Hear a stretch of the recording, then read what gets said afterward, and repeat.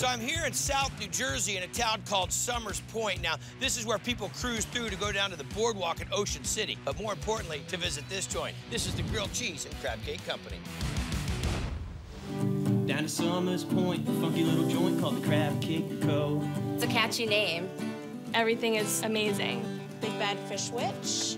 Everybody comes in here and is like, oh, what do you guys serve here? Grilled cheese and crab cakes. And the guy marrying the two is Steve Novak, Throw on another crab cake to the other melt now. who bought this place back in 2010 thanks to a little help from the family. Brothers pitching in and grandparents backing them up.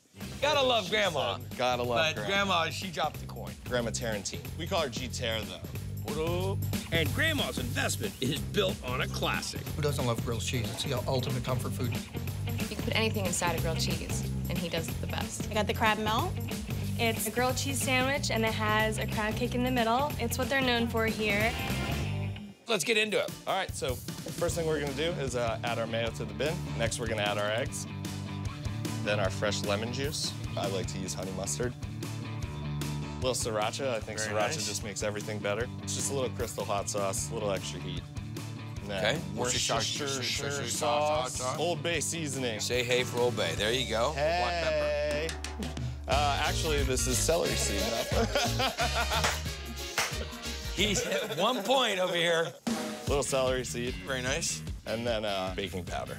A load of uh, fresh chopped parsley. And then we whisk her up. She's good to go. Next, we add our panko breadcrumbs. So we want to make sure it's incorporated in real good.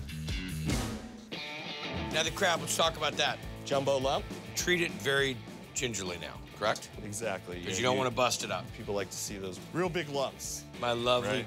crabby lumps. That is some creamy. Actually, this will solidify once it sets. It's gonna have to. So we're gonna throw a little butter on the grill. Okay. We're gonna take our crab cake, put it right on the butter, butter the bread, You and butter. Monterey Jack cheese. I mean, shouldn't you have it like on a squirt pump or something? Like, Probably. We're gonna steam the bread, just make sure we melt the cheese real good. so we're gonna let this cook up on both Yep. sides. This is our crab melt. Wow.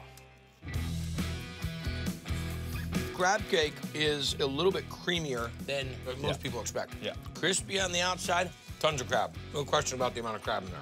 Nice crunch of the toast, not too much cheese. You pulled off, man. Nicely done, bro. Thank you. Nicely done. I love it. it's a favorite. It's moist, it's fresh, it's delicious. You can either have it plain or angry. Angry here means sriracha and jalapenos. You make the cheesesteaks angry, cream of crab soup, you can get that angry. Having the sandwich angry makes me very happy.